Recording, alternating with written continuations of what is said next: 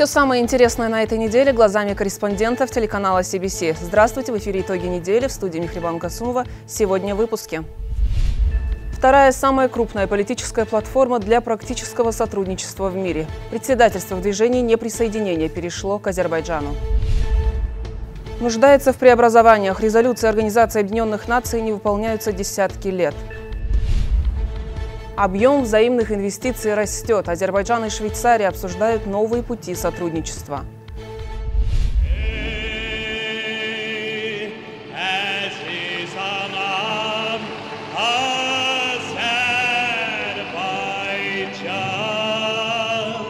памяти легендарного певца-композитора 11 лет назад не стало Муслима Магомаева.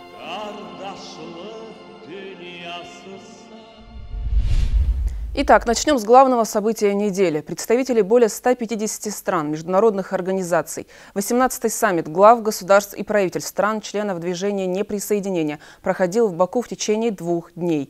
Председательство в структуре перешло к Азербайджану. Работу саммита отслеживала моя коллега Эсмира Алиева. Все подробности у нее. Азербайджан стал членом движения присоединения в мае 2011 года. За это время страна завоевала доверие и стала председателем структуры. Движение неприсоединения – вторая после ООН политическая платформа, объединяющая наибольшее число государств. Азербайджан в движении неприсоединения будет председательствовать в 2019-2022 годах. Президент Азербайджана Ильхам Алиев, выступая на 18-м саммите глав государств и правительств в Баку, отметил, что эта организация служит общечеловеческим ценностям. Азербайджан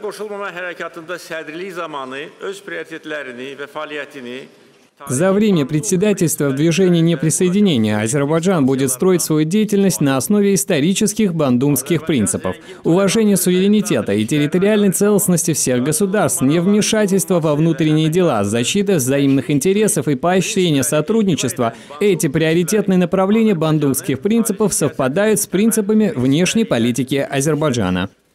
Глава государства отметил, что сегодня ООН нуждается в реформировании. Недопустимы такие явления, как изменение силовыми методами границ государств, вмешательство во внутреннюю политику.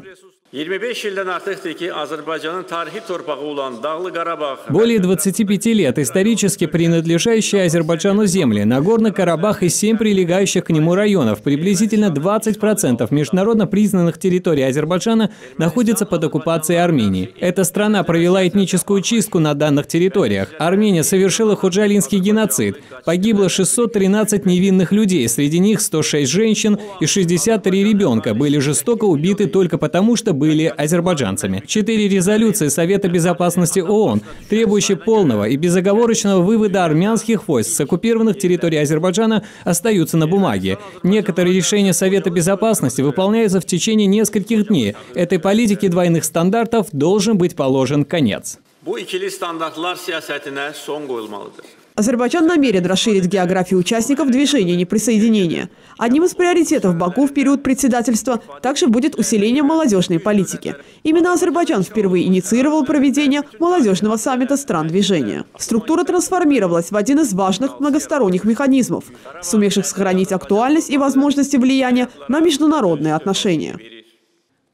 Я поздравляю президента Азербайджана и государства в целом с высокой организацией данного саммита. Благодарен за оказанное гостеприимство. Уверен, что под вашим председательством движение неприсоединения продолжит защиту прав стран-членов организации. Мы выражаем вам полную поддержку. Сегодня мир сталкивается с некоторыми вызовами, которые представляют серьезную угрозу глобальному миру. Согласно основным принципам нашего движения, Пакистан продолжит прилагать все больше усилий в борьбе с этими вызовами. Движение неприсоединения, включая две трети всех стран ООН, должно найти решение текущим мировым проблемам в рамках соблюдения международного законодательства и прекратить насилие и экстремизм. Это потребность нового мира.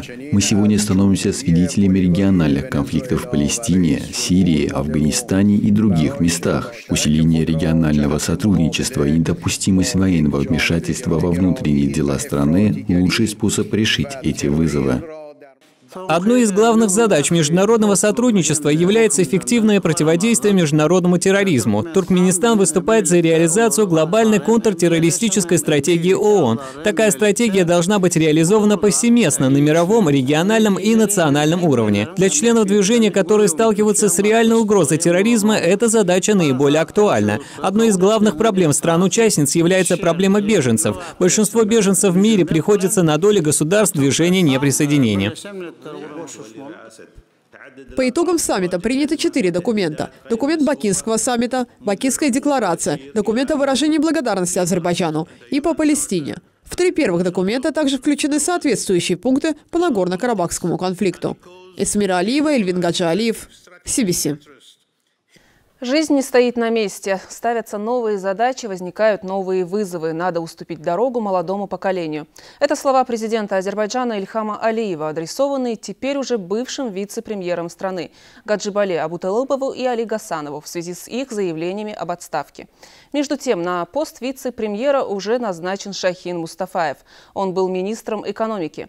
Теперь эту должность занимает Микаил Джаббаров, а находившееся под его руководством налоговое ведомство вместе с Госкомитетом по вопросам имущества и Государственным антимонопольным агентством и Агентством по надзору за потребительским рынком отныне включены в структуру Министерства экономики. Сегодня у нас в гостях профессор ЮНЕК Эльшат Мамедов. Говорить мы будем о стратегических целях и приоритетах Азербайджана в экономической сфере. Добро пожаловать. Спасибо за приглашение. Глава государства на встрече с новоназначенным вице-премьером страны Шахином Мустафаевым обозначил задачи, которые потребуются для дальнейшего укрепления экономической сферы в стране. Было отмечено, что успешное экономическое развитие Азербайджана должно быть обеспечено за счет ненефтяного сектора. Необходимо повысить занятость. Что делается в этом направлении? Ну, на самом деле надо отметить, что те заявления, которые сделал господин президент и на последнем экономическом совещании, и вместе с тем э, на встрече с э, новоназначенным вице-премьером, говорят о том, что на уровне главы государства есть четкое понимание тех стратегических задач, которые стоят перед э, нашим экономическим блоком правительства, в первую очередь, и Центральным банком, с точки зрения управления макроэкономическим развитием нашей страны. И эти задачи в первую очередь состоят в обеспечении устойчивости экономического развития. И вместе с тем мы, конечно же, должны постараться выйти на опережающую траекторию экономического роста, потому что по всем компонентам расширенного воспроизводства, азербайджанская экономика имеет существенный потенциал для прироста. И об этом, кстати говоря, неоднократно замечал и господин президент, потому что те темпы роста, которые мы сегодня наблюдаем, они в районе 2-2,5%, э, конечно же, говорят о стабилизации э, с точки зрения макроэкономического развития в стране, но вместе с тем они не отражают потенциал экономического развития роста, потому что на самом деле по всем э, магистральным направлениям экономического развития мы имеем возможность э, увеличивать наш экономический рост до темпов от 5% и выше э, в ежегодном исчислении. Поэтому задачи, которые сегодня стоят перед э, нашим правительством, заключаются именно в формировании той модели макроэкономического развития, при котором мы можем выйти на опережающий и вместе с тем устойчивый экономический рост. Министерство экономики Азербайджана теперь объединяет несколько ведомств. Какие задачи теперь будут стоять перед Министерством экономики? Ну да, надо отметить, что по своему содержанию институциональные преобразования, которые э, реализуются у нас в течение уже последних дней, носят беспрецедентный характер в новейшей истории а, Азербайджана, потому что на самом деле мы видим слияние э, достаточно крупных структур в одно мега-министерство, которое будет заниматься управлением как непосредственно в целом экономическим развитием. Сюда я считаю, что безусловно должны быть включены вопросы стратегического планирования экономикой, Э, экономического развития нашей страны. И вместе с тем мы видим слияние и объединение в рамках одного министерства э, и значительной части фискальной политики, потому что налоговое ведомство э, составляет очень серьезный удельный вес в целом с точки зрения реализации фискальной политики. И вместе с тем такие важные направления с точки зрения регулирования экономическим развитием, как антимонопольная Э, составляющая, антимонопольная политика, э, вместе с тем политика регулирования ситуации в целом на потребительском рынке, потому что это очень важный и, я бы даже сказал, стратегический сегмент с точки зрения управления экономикой. И когда мы видим, что формируется такое мега-министерство, конечно же, перед ним будут стоять определенные задачи координационного характера в целом, потому что фискальная составляющая, она Э, фактически позволяет государству перераспределять валовой внутренний продукт через государственный бюджет.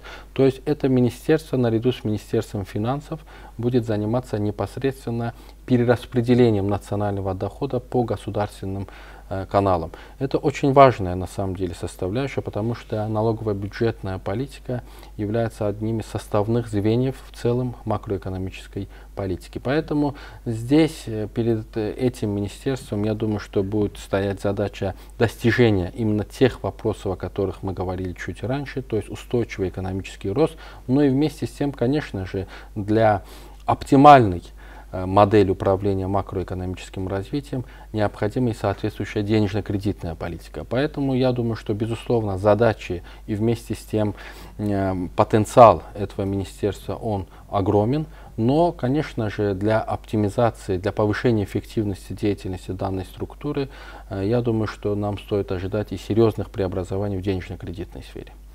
Кроме этого, президент Азербайджана также говорил о том, что необходимо привлечь иностранные инвестиции в нефтяной сектор страны. На ваш взгляд, что больше всего привлекает инвесторов? На самом деле, безусловно, с точки зрения привлечения иностранных инвестиций у нас все еще имеется существенный потенциал, но здесь я хотел бы остановиться как раз на структуре иностранных инвестиций. Дело в том, что в течение последних уже двух десятилетий иностранные инвестиции, их объем имеют существенное значение для экономического роста в нашей стране, но надо признать, что эти инвестиции в первую очередь были направлены именно на нефтяной сектор, на сырьевой сектор. А на сегодняшний день мы уже остро ощущаем необходимость в прямых инвестициях именно в высокотехнологичные сферы нашей экономики, в нефтяной сектор, я бы даже сказал более того, э, в нефтяной и в несырьевой сектор нашей экономики. Э, с этой точки зрения, безусловно, Э, приток иностранных инвестиций в страну, он необходим, но нам нужны инвестиции технологического характера, нам нужны прямые инвестиции, потому что на сегодняшний день в целом мировой экономики до 90% общих инвестиционных потоков с точки зрения иностранных инвестиций э, это не прямые инвестиции, портфельные инвестиции, которые не формируют капитал, а его перераспределяют. Наша же экономика в современных условиях как раз, как раз таки требует притока прямых иностранных инвестиций и преимущественно, конечно же, в высокотехнологичной сфере э, отечественной экономики. Поэтому я думаю, что в ближайшее время и Министерством экономики, и другими э, структурами экономического блока будут предприняты меры с тем, чтобы в приоритетном порядке с точки зрения иностранных инвестиций мы получали бы именно прямые э, инвестиции в отечественный реальный сектор экономики. И последний вопрос, Ильшат Малим. В экономической сфере все еще существует много проблем, в том числе необходимо предпринять дополнительные шаги по улучшению бизнес-среды. Какие шаги, на ваш взгляд, необходимы? Да, на самом деле это очень интересный вместе с тем сложный вопрос. И не случайно господин президент уделил очень большое внимание именно данному вопросу. Э, мы э, для достижения тех задач, о которых говорили чуть ранее, конечно же, э, должны наращивать в целом объем инвестиций и э, политика управления макроэкономическим развитием должна быть основана на инновационно-инвестиционной составляющей. То есть э, внутри самой инвестиционной политики необходимо расставить точки, и, э, точные приоритеты с точки зрения управления этими процессами. И в целом мы, конечно же, должны наращивать объем инвестиций в нашу национальную экономику. И здесь самым проблемным местом, проблемным сегментом, конечно же, является денежно-кредитная составляющая, о чем говорил господин президент, что на сегодняшний день, к сожалению, Институт внутреннего кредитования Э, не позволяет выйти на те опережающие объемы с точки зрения инвестиционных потоков внутри нашей экономики. И отечественный банковский сектор все еще достаточно неохотно инвестируют в реальный сектор нашей экономики. Я думаю, что это главная проблема с точки зрения макроэкономического развития. Я более чем уверен, что уже в ближнесрочной перспективе эти экономические преобразования затронут денежно-кредитную составляющую, и Институт внутреннего кредита позволит нам выйти на опережающий рост инвестиций. Я считаю, что уже в ближнесрочной перспективе мы можем обеспечить хотя бы э, соотношение инвестиций к валовому внутреннему продукту в 25%. И это нам позволит выйти и на те задачи, о которых мы говорили в начале нашего разговора, то есть опережающий экономический рост. На сегодняшний день по актуальной экономической науке, по мировой практике, чтобы обеспечить экономический рост э, в пределах Э, от 6 до 8 процентов необходимо ежегодно наращивать инвестиции хотя бы в 15-20 процентов. То есть это те целевые ориентиры, на которые я думаю, что наше правительство, экономический блок и Центральный банк должны ориентироваться с тем, чтобы мы вышли на устойчивый, опережающий экономический рост. Спасибо вам большое за участие в нашей программе. Спасибо вам. Я напомню, о стратегических целях и приоритетах Азербайджана в экономической сфере мы говорили с гостем программы, профессором ЮНЕК, доктором экономических наук Эльшадом Мамедовым.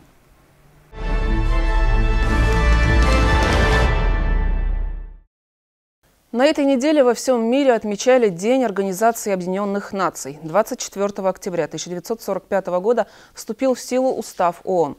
74 года назад и сейчас организация продолжает деятельность на пути обеспечения мира и безопасности. И тут возникает вопрос – а достаточно ли усилий принимает ООН в реализации принятых ею решений, резолюций?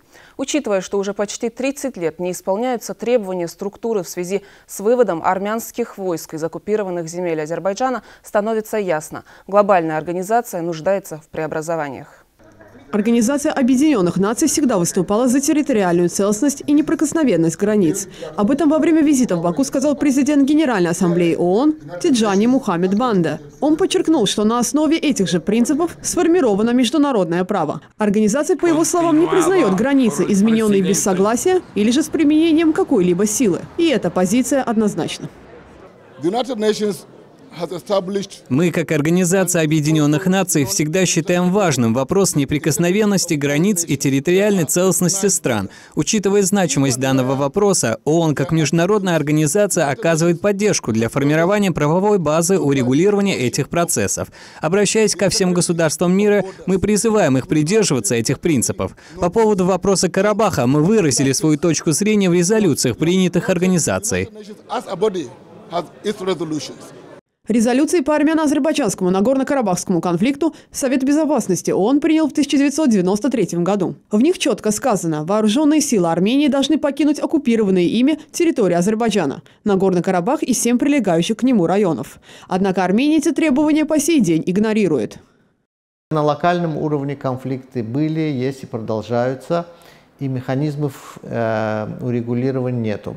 Э, примерно 20 лет, даже больше 20 лет идут э, значит, различные э, переговоры в рамках ООН по реформированию Совета Безопасности в первую очередь. Но, к сожалению, опять же, результата нет. Надо, конечно, опять же, в рамках, скажем, сложившейся геополитической ситуации в мире искать выходы пути урегулирования конфликта.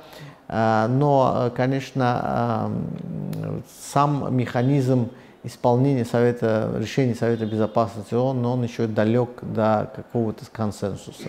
We've been uh, here for the last 27 years. ООН оказывает деятельность в Азербайджане на протяжении 27 лет. Наши отношения прошли длительный путь развития от гуманитарной поддержки, оказанной Азербайджану, когда государство столкнулось с масштабной проблемой беженцев и вынужденных переселенцев, последствиями Нагорно-Карабахского конфликта до партнерских отношений. Азербайджан за это время достиг существенного экономического прогресса.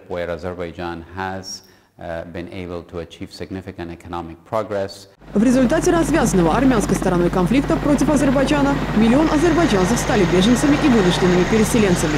С этой проблемой страна практически вынуждена была справляться в одиночку. Впоследствии это также послужило тому, что именно вопросы защиты мира и стабильности, устойчивое развитие, повышение межкультурного взаимопонимания стали приоритетными для Азербайджана во время его избрания в 2011 году непостоянным членом Совбеза ООН. Сегодня он поддерживает республику в притворении в жизнь цели устойчивого развития. Между сторонами ведутся переговоры о подготовке к следующему рамочному соглашению о партнерстве. Действие нынешнего соглашения завершится в 2020 году. Эсмира Алиева, Шамистан Мамедов, CBC. Между тем, говорит о мире, но выступает с провокационными заявлениями. Речь о премьер-министре Армении Николе Пашиняне. Тему армяно-азербайджанского Нагорно-Карабахского конфликта обсудили в эфире передачи «Харток» британского радиоканала BBC, его ведущий Стивен Сакур и глава МИД Армении Зограб Нацаканян. Стивен Сакур неоднократно увлечал гостя программы во лжи, в частности, подчеркнув, что высказываниями из серии «Карабах – это Армения» и «Точка» мира явно не добиться. Вы мне сказали, что хотите мира. Тогда объясните, почему в августе, всего пару месяцев назад, премьер-министр Никол Пашинян выступил с очень характерным заявлением, в абсолютно однозначной манере объявив «Карабах — это Армения. Точка». Так он хочет мира? Мы ждем от Азербайджана послания, которое бы отвечало нашим интересам и нашему видению, и интересам безопасности людей, живущих в Нагорном Карабахе. Министр иностранных дел Армении попытался уйти от вопроса, заявив, что Никол Пашинян имел в виду необходимость приемлемости решения Нагорно-Карабахского конфликта для Армении в той же степени, что для Азербайджана и оккупированных азербайджанских территорий. Карабах — это Армения. Точка противоречит международному законодательству, какие бы смыслы не вкладывал в эти слова Пашинян. Когда премьер-министр говорит «Карабах — это Армения. Точка», он знает, что это противоречит международному законодательству, позиции ООН и всех независимых международных организаций. Мне сложно представить, каким образом это может быть движением к миру. Учитывая, что Никол Пашинян продолжил обращаться к народу в своей речи с предложением объединения этими слоганами националистов, которые были слышны в 80-х, 90-х годах во время войны с Азербайджаном, вы мне заявляете, что премьер-министр хочет мира.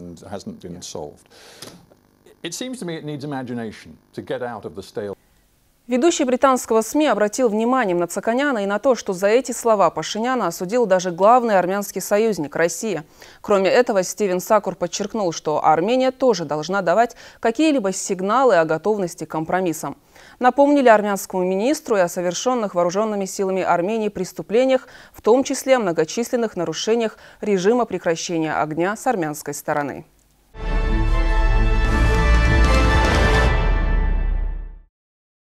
Представители правительств 13 стран, 42 международные организации и около 200 представителей местных и иностранных энергетических компаний. Состоявшийся в Баку Международный форум энергетической хартии успешно завершил свою работу. Основное внимание участников форума было направлено на возобновляемые источники энергии, роли технологий в области энергетики, механизмов регулирования, безопасности поставок на региональном уровне. Площадка для определения новых трендов в энергетической сфере. Форум энергетической хартии привлекает внимание высокопоставленных официальных лиц, представителей международных организаций, а также энергетических компаний из разных стран мира. В эру трансформации энергетического сектора обязанность каждой страны принять эти изменения как должное, оптимизировать свои процессы, пойти навстречу изменениям путем интеграции инновационных технологий в свои процессы и строить свой энергетический сектор на основе альтернативной энергетики. Акцент на эти пункты позволит обеспечить стабильный рост данного сектора на глобальном уровне путем расширения спектра сотрудничества. Мы открыты для всех частных и публичных инициатив. Мы стремимся к новым горизонтам сотрудничества, как с нашими традиционными партнерами, так и с новыми. Для этого в Албании либерализован весь энергетический рынок. Это позволило нам создать благоприятный инвестиционный и партнерский рынок. У нас широкий спектр сотрудничества, который далеко выходит за рамки Черноморско-Каспийского региона. Мы ведем активную инвестиционную, разведочную, буровую, экспортную и производственную деятельность. Мы открыты для новых перспективных проектов. Еще одной часто обсуждаемой темой на конференции стал проект реализации Южно-газового коридора, который завершен почти на 90%. Грядущий год станет годом реализации плана диверсификации, который за многие годы стремилась реализовать Европа. Южный газовый коридор – это не итоговый проект, подводящий итоговую линию нашего партнерства. Наоборот, это новые вызовы, новые связи, новые грани партнерства. На первом этапе пропускная способность газопровода составит как минимум 16 миллиардов кубометров. Но в перспективе мощность трубы будет доведена до 31 миллиарда кубометров газа в год. Проведение сегодняшней конференции в Баку является показателем оценки стратегической роли ЮГК и подтверждением вклада страны в достижение таких целей, как диверсификация и декарбонизация в этой части континента. Э, На глобальном энергетическом рынке инновационные технологии имеют очень актуальный характер. На сегодняшний день именно технологии — это двигатель прогресса. В этой связи проведение подобного мероприятия очень актуально, ведь сегодня Азербайджан является инициатором и активным участником крупных инновационных проектов, меняющих энергетическую карту евроазиатского рынка. Ожидается, что очередная министерская встреча стран Международной энергетической хартии состоится в Баку в конце 2020 года. Фуат Байрамов, Ульвиас Абергазы, Фируз Рагимов, Сеймур Саибзаде, CBC. Оптимизация инфраструктуры, господдержка аграрной промышленности, инвестиции и кредитование, усовершенствование процесса производства. Эти и многие другие темы обсудили на 11-й международной зерновой торговой конференции. В Черноморско-Каспийском регионе отмечается систематичный рост объема производства зерновых культур. В Азербайджане по итогам трех кварталов 2019 года сборы зерновых достигли 3,4 миллиона тонн, а пшеницы – 2,2 миллиона тонн. Кроме того, возрос уровень самообеспечения по зерновым и по продовольственной пшенице. Наряду с местными компаниями в конференции приняли участие предприниматели из России, Казахстана, Украины, Ирана, Турции, Объединенных Арабских Эмиратов, Швейцарии и других стран. Азербайджан уделяет особое внимание производству зерновых. Важными составляющими государственной политики в этой области являются совершенствование процессов производства и увеличение производительности путем применения современных методов и технологий, оптимизации соответствующей инфраструктуры, оказания необходимой помощи производителям путем прямого кредитования на льготных условиях, э, других видов финансирования, в том числе и субсидирования, и оказания помощи приобретении современного оборудования. Еще одно международное мероприятие в азербайджанской столице, юбилейное, 25-я по счету, выставка «Баку Билд» собрала более 200 компаний из 23 стран. Площадка экспозиции по сравнению с прошлым годом увеличилась на 10%. География ее участников также значительно расширилась. На отечественные компании пришлось 40% экспонентов. За годы своей работы выставка «Баку Билд» зарекомендовала себя как надежная бизнес-платформа, где собирается весь строительный рынок Прикаспийского региона. Там устанавливаются деловые связи, демонстрируются инновационные технологии и оборудование для строительной индустрии. Баку продолжает развивать связи с рядом государств. Объемы взаимных инвестиций между Азербайджаном и Швейцарией достиг почти 4 миллиардов долларов. На этом стороны не намерены останавливаться. Представители бизнес-среды двух стран искали в Баку новые направления сотрудничества. Тему продолжит Фуат Байрамов. Экономические связи между Азербайджаном и Швейцарией имеют положительную динамику почти во всех секторах. Товарооборот по итогам 8 месяцев текущего года увеличился в 5 раз по сравнению с аналогичным периодом прошлого года. Участники Азербайджана-швейцарской деловой встречи в Баку обсудили достигнутые успехи и говорили о новых перспективных путях сотрудничества. 861 миллион долларов инвестировала Швейцария в экономику Азербайджана. 794 из них пришлись на ненефтяной сектор. При этом объем инвестиций Азербайджана в Швейцарию составил 2,7 миллиарда долларов. В развитии сотрудничества важную роль играет госнефтекомпания Азербайджана «Сокар». Кроме этого, прямые рейсы, выполняемые азербайджанскими авиалиниями, позволяют развить туристический сектор. В числе наиболее перспективных направлений для укрепления связей, торговля, логистика, энергетика, инвестиции, банковский сектор. Визит швейцарской делегации нацелен на налаживание новых торговых и деловых связей между предпринимателями Азербайджана и Швейцарии. Визит также предусматривает и обсуждение возможностей поддержки участия швейцарских компаний в крупных энергетических и инфраструктурных проектах, реализуемых Азербайджаном. Представитель одного из известных швейцарских банков заявил, что изучает возможности сотрудничества в Азербайджане в таких банковских сферах, как предоставление финансовых услуг, юридических консультаций и помощь в вопросе управления капиталом. Азербайджан в 2021 году может стать участником программы автоматического обмена банковской информацией о финансовых счетах. Фуат Барамов, Али Сурхайулу, CBC. Любовь к его искусству и личности не истекает. Он занял прочное место в истории музыкальной культуры, в том числе Азербайджана. Творчество Муслима Магомаева общепризнано. Выдающийся оперный и эстрадный певец и композитор, чей баритон не раз становился голосом Советского Союза, вскоре стал народным артистом СССР. Муслим Магомаев был одним из немногих советских исполнителей, кто получил мировое признание еще в молодости. Со дня его смерти прошло уже 11 лет, но память о нем продолжает жить в сердцах миллионов почитателей его таланта.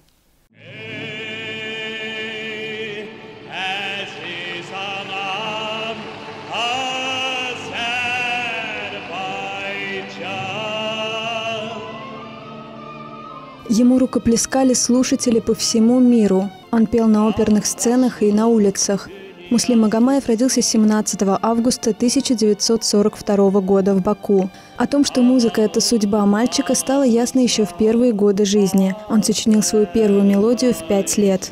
К 20 годам Магомаев окончил Бакинское музыкальное училище и успел дебютировать в ансамбле песни и пляски. Всесоюзная слава обрушилась на Магомаева в 1962 году, когда в Москве проходила декада культуры и искусства Азербайджанской ССР. На заключительном концерте в Кремлевском дворце съездов, транслировавшемся по телевидению, выступил юный Муслим Магомаев. На следующее утро он проснулся знаменитым на весь СССР.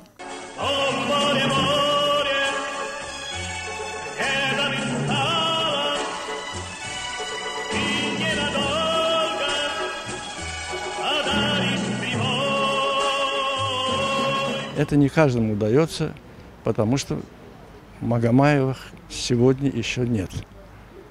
Поэтому я желаю молодежи, чтобы у них, у них была бы такое же, такая же юность. Мне очень повезло, мы с ним дружили.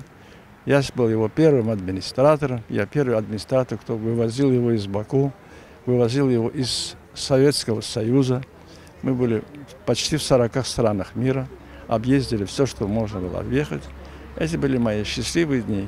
В 1964-65 годах Муслим Магомаев стажируется в Италии, в Миланском оперном театре «Ла Скала». Молодому певцу это не просто пошло на пользу, поскольку спустя годы провели эксперимент. Нескольким итальянцам дали послушать некоторые арии и песни на итальянском языке в исполнении Магомаева и спросили, кто это поет.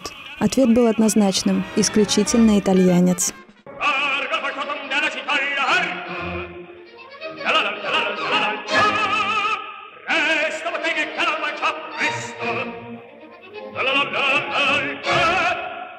Муслим был один из самых близких моих друзей, начиная с 14 лет.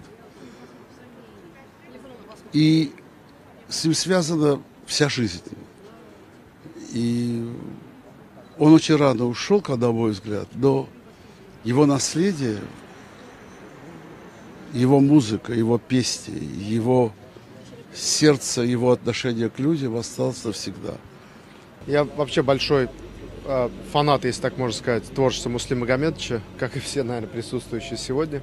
Но песня, с которой э, теперь уже связана моя жизнь, это, конечно, «Синяя вечность». Ни один концерт без нее не проходит. Популярность Магомаева не знала границ даже во времена железного занавеса. Роскошный баритон хотели заполучить лучшие мировые сцены. Магомаеву неоднократно предлагали остаться на Западе, сулили золотые горы и головокружительную карьеру. Но певец всегда отказывался от этих заманчивых предложений и о своем выборе петь на родине в СССР никогда не жалел.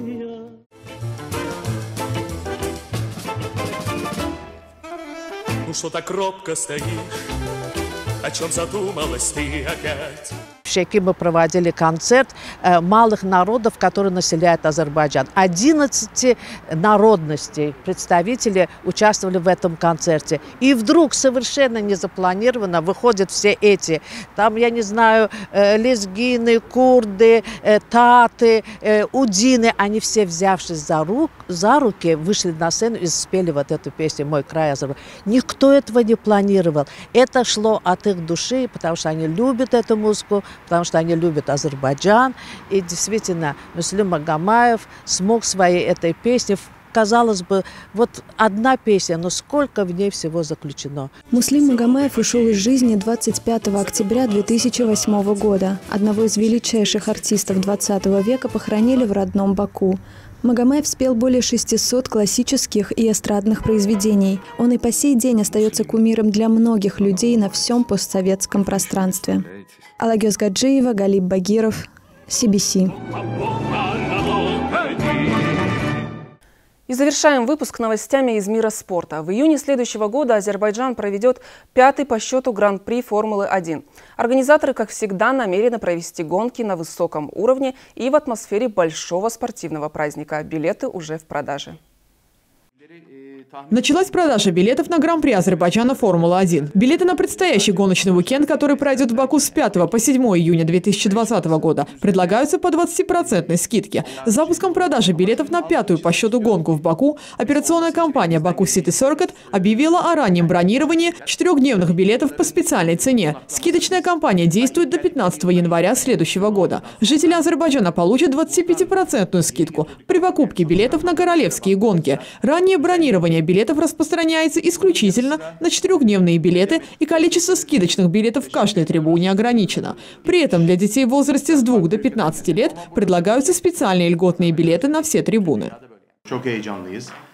Мы готовимся уже к пятой гонке. Очень волнуемся. По традиции мы решили запустить раннюю продажу билетов. Формула-1 имеет давнюю историю. Соревнования в следующем году отметят 70-летие. В Азербайджане гонки впервые были организованы в 2016 году. И за этот короткий срок удалось достичь хороших результатов. За четыре года мы получили много положительных отзывов. За это время победителями становились пилоты из различных команд. Это также положительный фактор для Баку. İçin çok iyi bir şey. Цены на билеты для жителей Азербайджана меняются от 210 до 710 манатов для взрослых и от 150 до 500 манатов для детей. В продаже также имеются однодневные билеты в зоны свободного размещения, и цены на них будут меняться в зависимости от дня гоночного уикенда в пределах от 110 до 190 манатов. Билеты на 4 дня гоночного уикенда включают в себя не только трехдневный доступ на трибуны, но также возможность принять участие в развлекательных мероприятиях. Концерты в рамках Формулы-1 в следующем году будут будут организованы на открытом воздухе. Отметим, что согласно подписанному в начале этого года контракту, Гран-при Азербайджана будет проводиться в Баку до 2023 года. Эсмира Алиева, Руфат Аликперов, CBC.